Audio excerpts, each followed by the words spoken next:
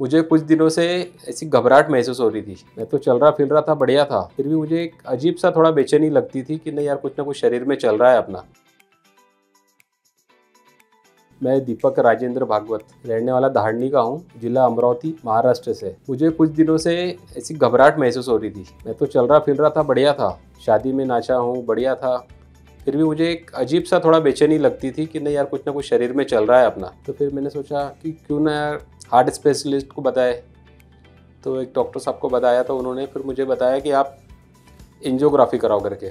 Blockage का प्रमाण, ज़्यादा प्रमाण में पाया गया। तो उनका कहना था कि अब इसका तो अपने को तुरंत ऑपरेशन करना पड़ेगा। तो फिर ठीक है तो फिर कहाँ करना चाहिए? तो फिर हमारे जो परिजन थे, परिचित, उन्होंने बताया कि शेल्बी हॉस्पिटल में डॉक्टर मोहम्मद अली साहब है। इनका बहुत अच्छा इस चीज़ के अंदर गहरा अध्ययन है। आप इनसे इस विषय में संपर्क करो करके। तो उनसे फिर हम आके सर से मिले।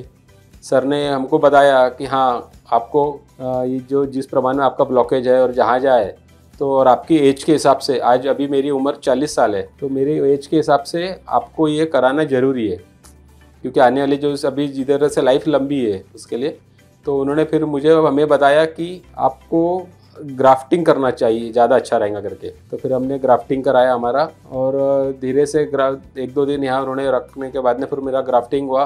एल हॉस्पिटल में जो जितना भी स्टाफ था, जैसा मुझे आईसीयू में भर्ती करके रखा था तो आईसीयू का भी स्टाफ इतना अच्छा था, बहुत कोऑपरेटिव था, बहुत केयर करते थे।